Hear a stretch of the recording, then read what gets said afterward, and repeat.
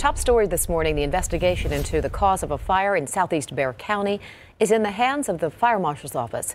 The fire destroyed two mobile homes on Dan Road, which is near Highway 181. Our Katrina Weber's on the scene. She joins us with another live report. So, do we know what will become of the woman who lost her home, Katrina?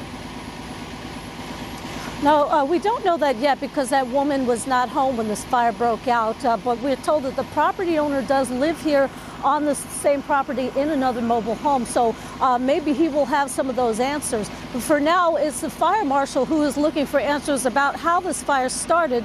They got the call around 3:15 this morning, and as you will see in our video, there were huge flames showing when they arrived there were two mobile homes on fire. Now, a neighbor told me that he actually woke up before that. He saw just one mobile home on fire, tried to use a hose to put it out himself, and called 911 at the same time.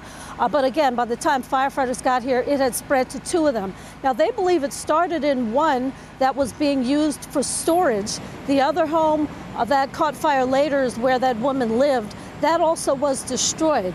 Uh, again, no word on the cause just yet. The fire marshal actually had to wait after he arrived here to be able to go in because there were some flames that kept flaring up in the tree as well as uh, in what was left of those two mobile homes. So they had to make sure all of that was out before the fire marshal could go in, and he did that just about a half hour ago. Reporting live in Southeast Bexar County, Katrina Weber, KSAT 12 News.